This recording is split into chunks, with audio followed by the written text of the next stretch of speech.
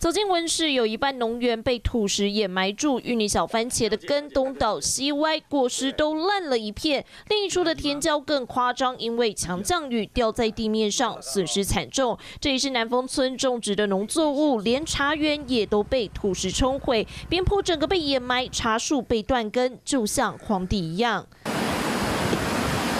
牛番茄的温室则是被泥水浸泡，农民赶紧开着大货车抢收剩下没被摧毁的。放上机台，一颗颗检查，只是牛番茄裂果太严重，损失有七八成。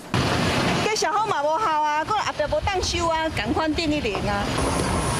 上百台载运着高丽菜的货车惊险越过满是泥泞的路。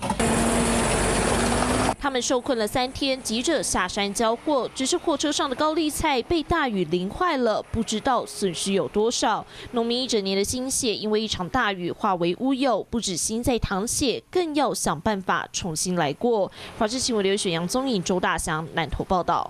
Hello，我是庄宇杰。想要抢先掌握最及时的新闻资讯吗？赶快订阅、按赞、开启小铃铛，锁定华视新闻 YouTube 频道。